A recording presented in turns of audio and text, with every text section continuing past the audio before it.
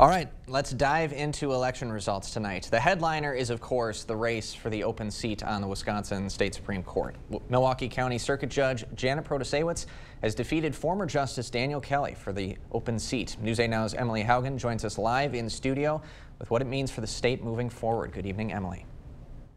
Ken, right around 9 p.m., the AP and New York Times called the race 55% to 44% in Protasiewicz's favor. This win flips the Wisconsin Supreme Court from a conservative majority to a liberal majority. Protasiewicz celebrated her victory with supporters in Milwaukee.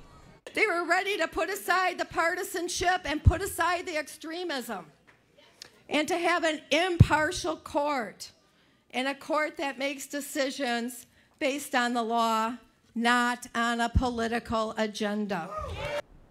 This is the first time the court's majority has flipped since 2008. Opponent Dan Kelly took to the podium in Green Lake tonight. He told supporters he accepts his loss, but believes Protasiewicz's win was not clean, calling her a deceitful liar.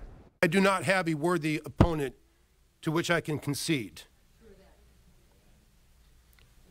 This was the most deeply deceitful, dishonorable, despicable campaign I have ever seen run for the courts.